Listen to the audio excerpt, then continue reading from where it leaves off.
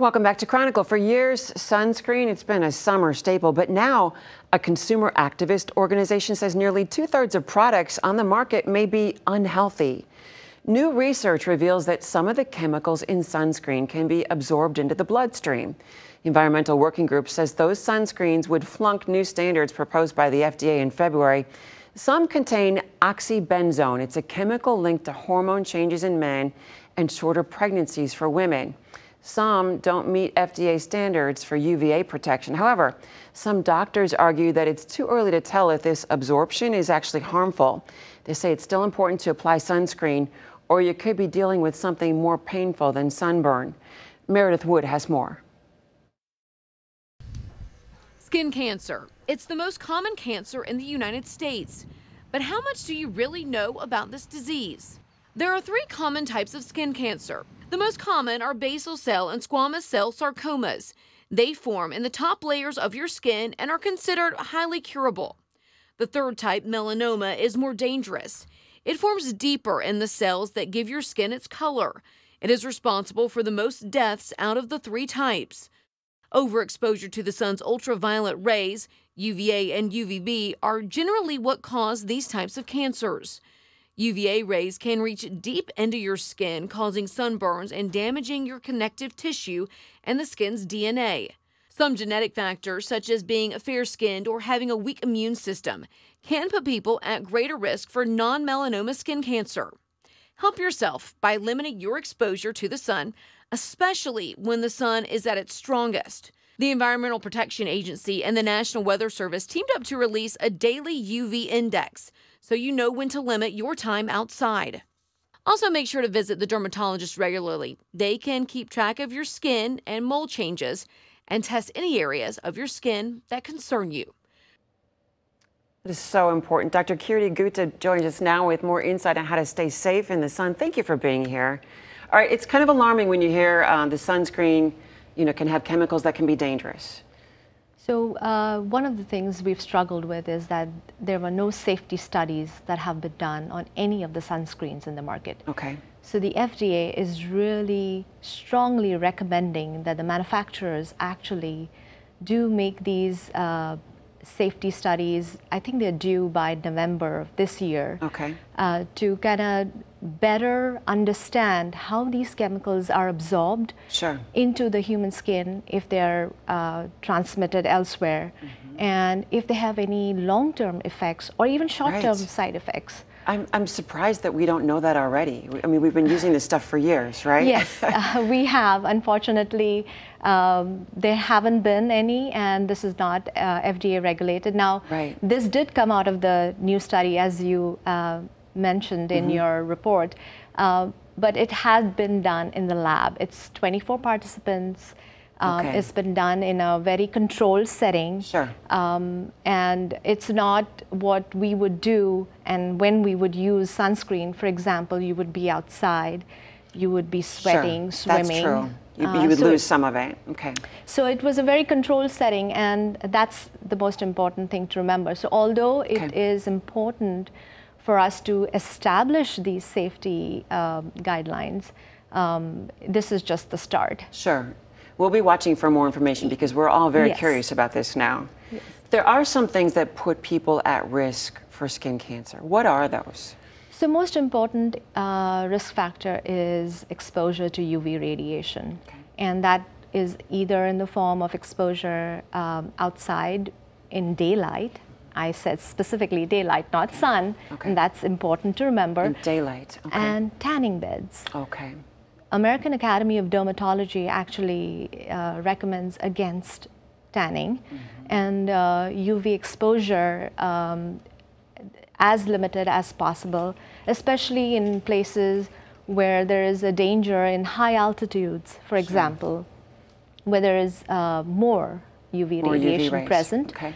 Times of the day between 10 to 4 p.m. Okay. Um, is a high risk uh, time of the day. And then lack of uh, protection. Sure. So, for example, lack of use of appropriate clothing. Okay. And then sunscreen. Does uh, can genetic factors put you at risk? For example, my My, on my husband's side, both his parents have had skin cancer, his brother and sister. Or is it, do you think they're all golfers? They spent their life in the sun. Do you know what I mean? So yes, there's uh, of course uh, an inherent risk in uh, uh people who are fair-skinned. Okay. Um, we uh, always worry about genetic uh, susceptibility, but it's more common. It's the UV exposure okay. that is the biggest risk for skin cancer. In your experience, um, why do people not usually understand skin cancer? Uh, more commonly, it's because of lack of awareness and then inappropriate uh, protection. Um, we talk about uh, basic guidelines uh, for physicians to use to help um, kind of categorize skin lesions. Mm-hmm. Uh, but even that will happen only when the patient presents themselves sure. uh, to the physician. So it's self-awareness mm-hmm. and uh, appropriate protection. So you really uh, you have to be your own advocate, and when you go for your yearly physical, you say, "Hey, doc, what about this?" Right? Yes. yes. In fact, uh, one of the uh, most important um, recommendation is to do a monthly self-exam. Okay. And then if you notice any changes or any concerns, bring them up at your next doctor's visit. Right. I see you have your floppy hat here. yes. so this is my recommendation. Use a mm-hmm. wide brimmed hat. I have one, yes. and then um, limit your uh, skin exposure to uh, the sun's UV radiation. Also, use sunblock. Mm-hmm. Um, it's not as uh, easy to apply. Okay. But uh, there have been no scientific um, uh, evidence with adverse effects noted with the use of sunblock. Now, is sunblock the white one? Yes. Okay. So it's the very solid, opaque one yes. that you see that some people sometimes put on their noses. Okay. Yes. yes. Here's the here are some other prevention uh, tips that Dr. Gupta mentioned. Do regular self checks. Uh, go to your doctor with, with any concerns. A good time to review that is during your yearly exam. Uh, limit your exposure to sun. Um, you know, at a certain point, you should probably cover up when you're at the pool or be under the umbrella. And then sunburn is also very dangerous. Yes, and in fact, your risk for melanoma increases, it doubles um, with more than five sunburns. Wow. That's all it takes. Just five? Yes. How do you know uh, how much sun is too much sun? Well, any sun that can cause your skin to, to change color, change right? Color, so increase tanning heat. is actually damage. Yes. Damaged skin. And that's the most important thing to remember. Mm-hmm. It's uh, you know you see young people um, interested in tanning, but uh, unfortunately, that's actually DNA damage that's happening. Right. I noticed that a lot of the suntan uh, bed places are switching over to spray tans. Yes. What are your thoughts about that? It's better. Okay. Any anytime you can reduce your risk of UV exposure, um, it's better. If someone has already had uh, skin cancer, does their risk um, does it jump tremendously for having it again? Yes, unfortunately. Um, we try to say that uh, if you catch it early, then it can be treated appropriately and cured. Okay. Um, with the idea of that you, now you're aware and ed educated, so you would bring up uh, any abnormal lesion. Right. But yes, no, your risk unfortunately does go up.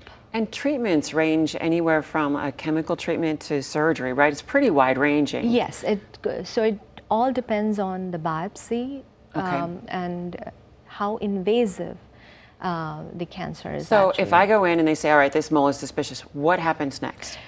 So when you go in and the mole is suspicious, it, the first thing they'll do is why is it suspicious? So they okay. follow the A, B, C, D, E uh, rule that we use uh, for uh, detection of what is uh, needing biopsy right away versus what can we wait and see. Because oh, okay. many uh, lesions, skin lesions, can look like cancer but may not be. Okay. So just because it's a hyperpigmented or a dark skin lesion, it okay. may not necessarily Don't freak be. out.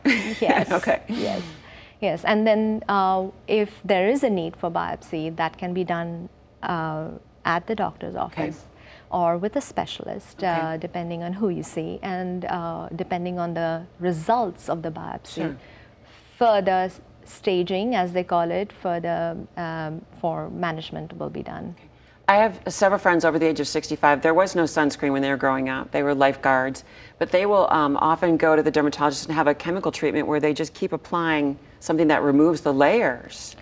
So um, chemical peels, um, they seem to be a good way to help reduce um, any risks uh, towards these cancers Okay. and uh, precancerous lesions, so Okay. both. So you're going to see uh, treatments like that as well. Yes. Dr. Gupta, thank you so much. Of course. Your wealth of knowledge. I'll, I'll be wearing my hat this summer. Don't worry. Thank you. Thank you. for being here.